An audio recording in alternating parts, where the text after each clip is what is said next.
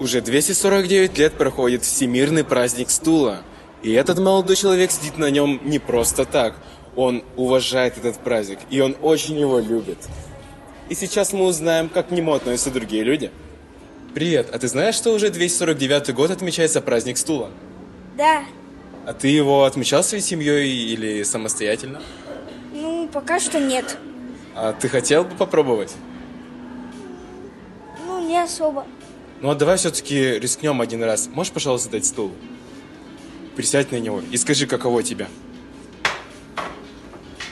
Норм. Удобно? Да. Ну это отлично. Это вся суть нашего праздника.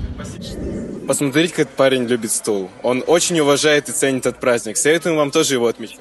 Хорошо, будем иметь в виду, будем отмечать. Вот я сижу сейчас на своем стуле и понимаю, что так мало людей знает о его празднике. Празднике этого чудесного создания. Это просто верх гения человека.